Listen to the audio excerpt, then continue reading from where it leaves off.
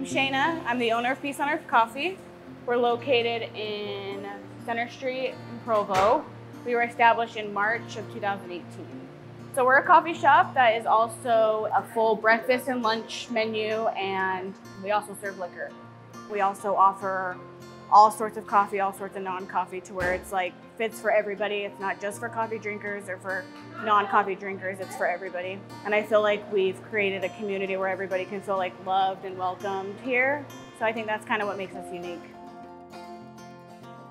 Peace on Earth is different because it's kind of in our title, Peace on Earth. We want everyone to feel loved and welcome and to feel peace when they come in here. We sell lots of coffee, we have a full breakfast and lunch menu, and we have snacks, we have wine. You can walk in here and you have so many different elements that you can feel. You can come in and have a glass of wine and have it be you and a date, or you can come in and study for hours, or you can come in as a family and enjoy breakfast.